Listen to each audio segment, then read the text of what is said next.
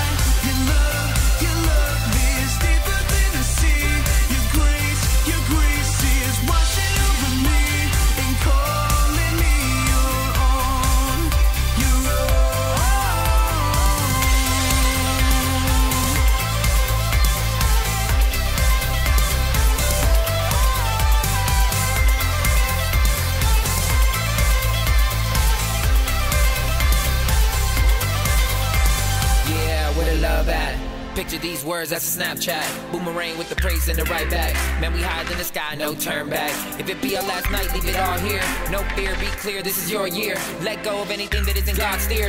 Visine with a dream, and it's so clear. Yeah, so clear. And you know wherever you go, I'ma stick close, they gon' think we a duo. Bond so tight, hug it out like a sumo. And I never think twice, you the boss of my life, no, you go. And this world not down with us. They can try to limit faith, but it's down to us. Man, love so deep, not a game to us.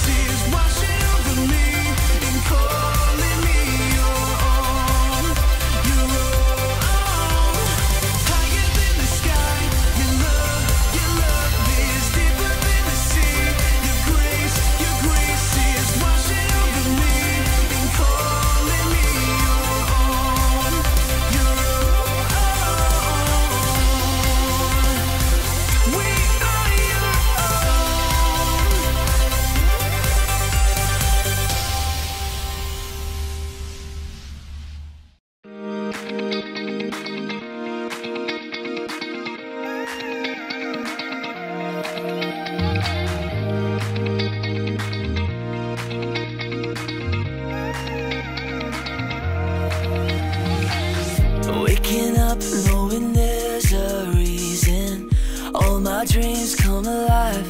Life is for living with you. I've made my decision. You lift me up, fill my eyes with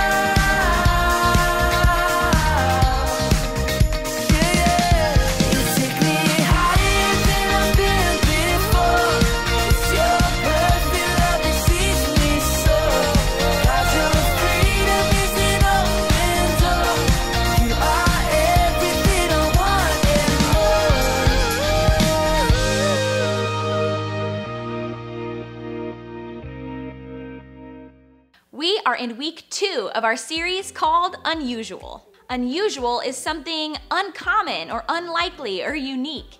And this month, we are talking all about the uncommon, unlikely, unique story of King David. God chose him to be king, even though he was the most unlikely candidate.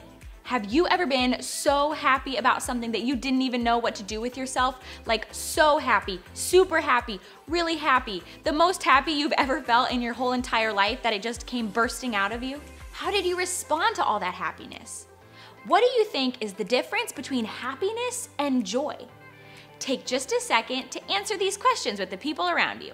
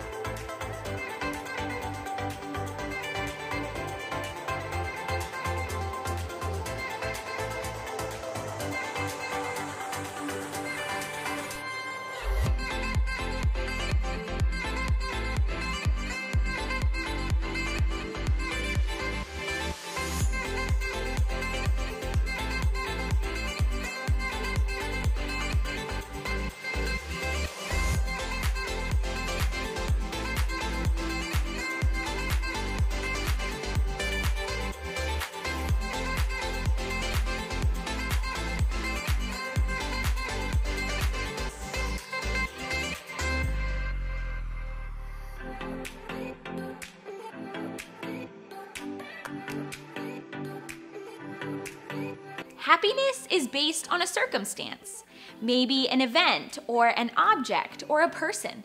Joy isn't connected to just one thing or one person. Joy is an attitude that we can have in our hearts no matter what our circumstances are around us. Check this out. Hey there, chicken nuggets. It's me, Carl. And I'm Andy. Welcome to Grow TV. So, Carl, Yes, Andy? what are you doing? Nothing. I'm doing absolutely nothing. Yeah, I can see that. What's what's with the box?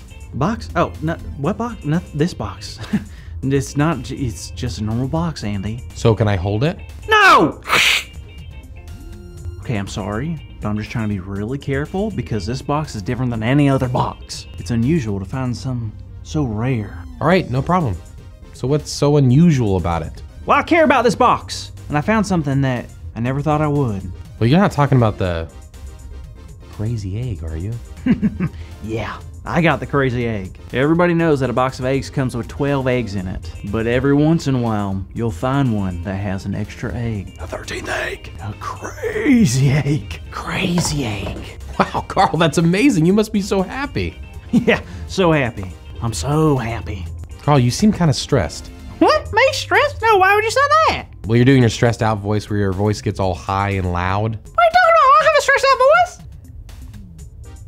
Okay, yeah, maybe I'm a little stressed, but I've always wanted a crazy egg and now I have it, but But what? now I'm afraid of losing it or something bad happening to it. Oh, I guess that makes sense. So, what do you say we jump into today's story? I suppose. What are we talking about? Well, believe it or not, we are talking about King David again, but this time it involves a special type of box. A box like this? Not exactly. This particular box was made of wood and it was beautifully designed. They actually called it the Ark of the Covenant, and it was created to hold really important things in the Old Testament. What kind of things? Things that would remind the people of what God had done, like the tablets that the Ten Commandments were written on, or a jar of manna. Is that the special food that God rained down from the sky for the Israelites to eat? From when they were walking the wilderness and stuff? That's the one. And also the rod that Moses' brother Aaron used that budded leaves, even though it was a dead piece of wood. Wow, that stuff really is important. So what does that have to do with King David? Well, having the Ark of the Covenant in your town was something everyone wanted, especially David. Why did everyone want it? Well, what made the Ark of the Covenant really special is that it was a symbol of God's presence. Wait, God was in the box? Sort of. It was a place where people could come and meet with God. That's why having it with you was such a big deal. I can imagine. Well, who had the ark? Well, David and his men came and got the ark from a place called Bela, and they brought it back to Israel. Nice. I bet they were nervous like me, huh? Holding on to the ark, protecting it, trying to make sure nothing bad happened to it. Not really. I mean, the Ark of the Covenant is so important. You gotta take care of it. Yes, it is serious, but bringing home the Ark of the Covenant was a very happy thing for David and the people of Israel. Really? Of course, this box had so much history and meant so much to the people of Israel. I mean, it was one way of really knowing that God was with them. Wow, that was really cool. You bet it is. David was so happy that he began to dance and everyone started playing instruments. Wait a minute. David was dancing, right? Yeah? But it said he was dancing in his underwear. What, you've never done that? Not in front of a bunch of people like that, Andy. Fair enough. But at that moment, David didn't care what he was wearing or who was watching. He was just so happy and filled with joy. Joy. Of course, David finally brought back the Ark of the Covenant to God's people. That meant so much to David, and he could not contain it. I know how that goes. Sometimes I feel like I'm just gonna burst if I don't get all my feelings out. But I don't think everyone gets me. You know what? David experienced that too. Some people thought that the highest ruler in all of the land should not be behaving in such an unusual way. But David let them know that his joy came from the Lord and he couldn't hide it. Well, good for David. Why should he? Well, after listening to this story, I think it's obvious that God gives unexplainable joy. Carl, you know what gives me joy? Silly cat videos on YouTube? No, you said our big idea.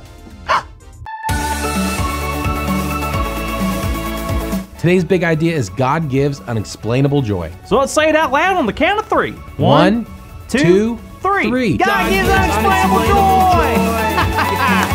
yeah.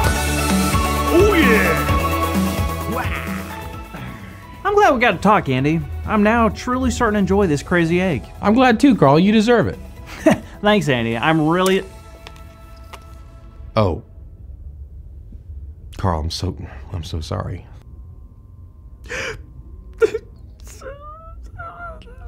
Oh, Carl, don't don't cry. God God gives unexplainable Okay, that's Oh. that's that's all for today. That's all for today, kids. Sorry.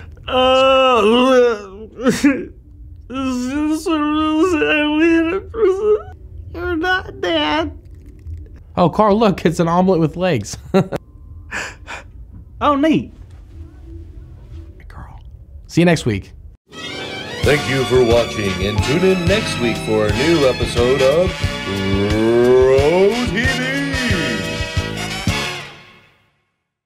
David was filled with joy when the Ark of the Covenant finally arrived. In fact, even though he faced many challenges, David was so excited when the Ark of the Covenant finally arrived. He was so full of joy that he danced around in his underwear. It sounds pretty embarrassing, but apparently it didn't really bother David. When David's wife saw him dancing through the window, though, she kind of got mad at him. She didn't like that a king would humiliate himself like that. But David didn't care. He was so full of joy that he wanted to celebrate with the entire city. Knowing that God was near filled David with an unexplainable joy. Just like we see with David, God gives us unexplainable joy too. Let's check out our Bible verse for this month. Our verse is Isaiah 55 8, and here's what it says For my thoughts are not your thoughts, neither are my ways your ways, declares the Lord. Don't forget to take out your elementary verse card for the month of July and stick it somewhere where you can see it and be reminded of God's truth every single day. Thanks for hanging out. Be sure to scroll down so that you can check out this week's activities and discussion questions. Have a great week, and I'll see you next Sunday. Bye!